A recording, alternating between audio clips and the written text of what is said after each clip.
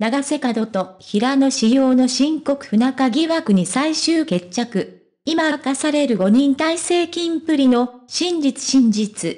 King & Prince る。最終回で明かされた深刻不仲疑惑に終止符。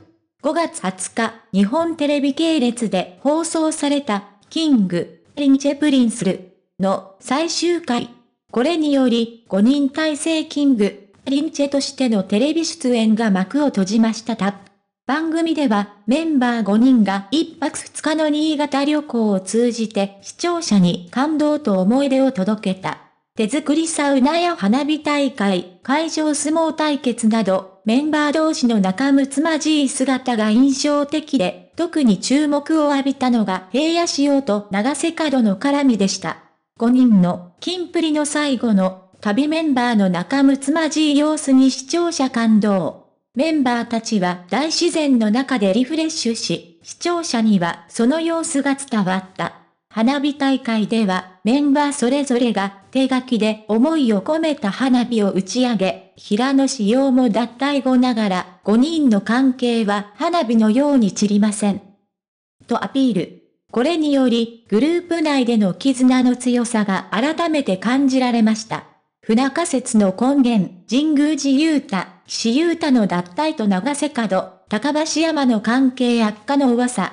過去に神宮寺雄太と岸優太が脱退し、さらにグループ内での不仲説が浮上。特に長瀬角と高橋山の関係悪化が3人脱退の原因と噂されていました。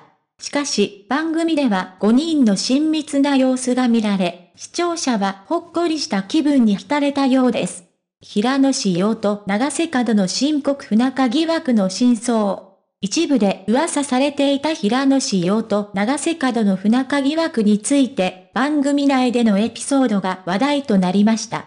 エンタメ誌ライターによれば、以前から二人の絡みが少なく、不仲説が根強かったそうです。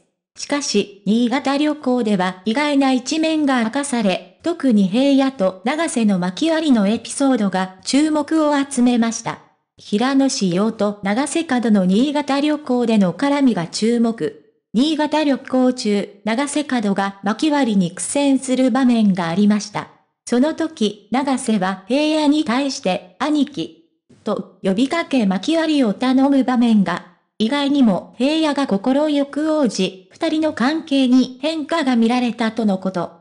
番組内では、平野が長瀬に関するコメントを避けず、お互いが絡む様子に視聴者は感動したようです。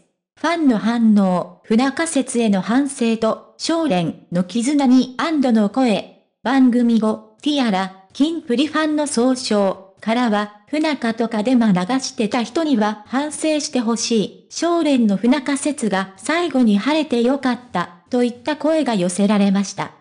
仲良しの基準が異なる中、メンバー間のつかず離れずの関係が良かったのかもしれません。キンプリの感動の別れ、ビューティフルフラワーでの集大成。番組の後、NHK の音楽番組、メニュー101にも生出演。5人体制のキング、リンチェプリンスペアウチフシ、ビューティフルフラワー、ラストパフォーマンスで披露しましたタップ。平野が歌い出しで涙し、他のメンバーたちが励まし、長瀬も平野に手を添える場面が印象的でした。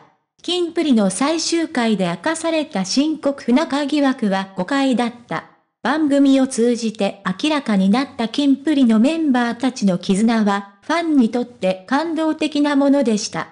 不仲説が囁かれていた中、番組は視聴者に安心感と感動を与え、5人の絆が花火のように散ることはないことを示しました。キンプリの新たなショーへの期待が高まる一方で、ファンはこの旅の思い出を胸に刻んでいくことでしょう。